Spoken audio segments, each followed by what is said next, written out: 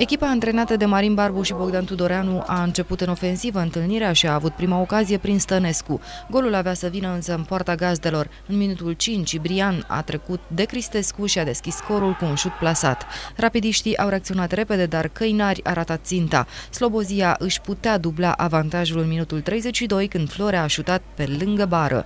În jumătatea adversă, Stănescu a tras în plasa exterioară. Ultimul minut al primei reprize a consemnat și cea mai mare ocazie pentru Sucev moldovenii, oprea respingând de sub bara transversală o minge trimisă cu capul de negru. Jocul s-a animat începând cu minutul 60. Arbitrul Adrian Ilieș a indicat penalti pentru Hens în careu, iar Ionesi și-a trecut în cont a cincea reușită stagională. La doar două minute de la primirea golului, ialomițenii au revenit la conducere pe tabela de marcaj, grație unui voleu trimis de Liviu Mihai. Pascal s-a opus unui nou gol două minute mai târziu când a scos de la vinclu un șut trimis de Ibrian. În minutul 69, unirea a rămas în 10 oameni pe teren după ce Ivașcă a văzut direct cartonașul roșu. Ceferiștii au avut șansa egalării în minutul 71, dar Ionesi a trimis în brațele portarului.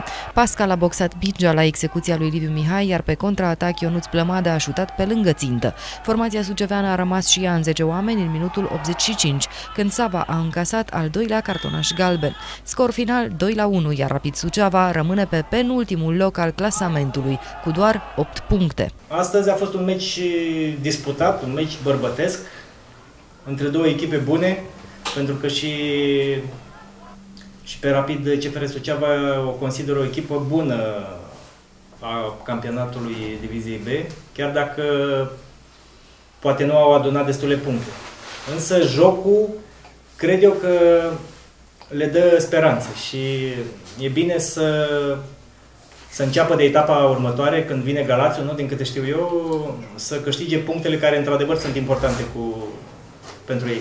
Am făcut un joc slab. Cred că a contat cel mai mult accidentarea lui Smanaiu. S-a accidentat și ne-a dereglat tot sistemul. Trebuie să jucăm Sava, era accidentat și el nu era refăcut 100%, v-am zis ieri. Trebuie să jucăm cu Cristescu. La marcaj nu am jucat. S-a văzut. Și e echipă bunișoară. Deci, asta e, slab. Azi am jucat slab. Nu meritam mai mult, după părerea mea. Sâmbătă Rapid Suceava are programat un meci capital în lupta pentru salvarea de la retrogradare pe areni, urmând să vină ultima clasată, Dunărea Galați.